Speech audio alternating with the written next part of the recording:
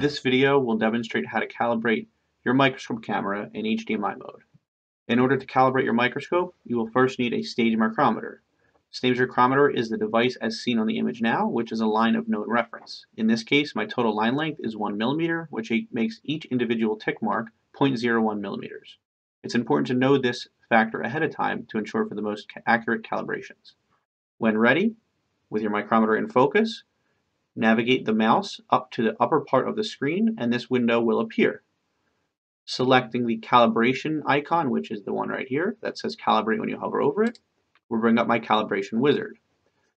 From here, you want to select the magnification that you're calibrating on. If you have a compound microscope with one of these preset objectives, you can simply select the magnification. To enter your own magnification, just simply double click in the magnification box and this keyboard will appear.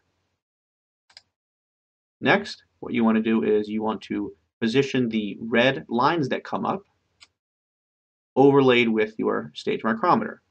Since I can see the whole stage micrometer, I'm going to go across the whole length to ensure for the most accurate degree of measurements. So in this case, I'm going to drag the right side to the end bar, and I'm going to drag my left side the left end bar.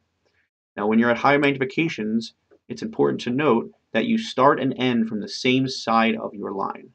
Meaning if you're starting from the left side of my zero tick mark here, I want to end at the left side of my zero, uh, my 100 mark. So in this case, I'm starting from the right side to the right side. As seen here, I know that the total line length in millimeters is going to be one millimeter. So I select my unit of measurement here millimeters. I give it my actual line length. Again, double clicking in here will bring up my keyboard in the bottom. I select one millimeter and I click OK. Now my software is calibrated in HDMI mode for my 10x objective. You will repeat this process for each magnification that you need calibrated. Once you're done, you'll notice a drop down of all magnifications that are calibrated up here. It is very important that before you make any measurements, you confirm that the magnification of the objective shown here matches the magnification of the objective on your microscope. Once done, to confirm that I have an accurate calibration, we can simply draw a line and make sure that it matches. In this case, I'm going to go from there to here, which should be 0.1 millimeter, and a little crooked, but 0.1 millimeter. We know we're accurately calibrated and we can start working and making measurements. Thanks for watching. For any questions, give us a call.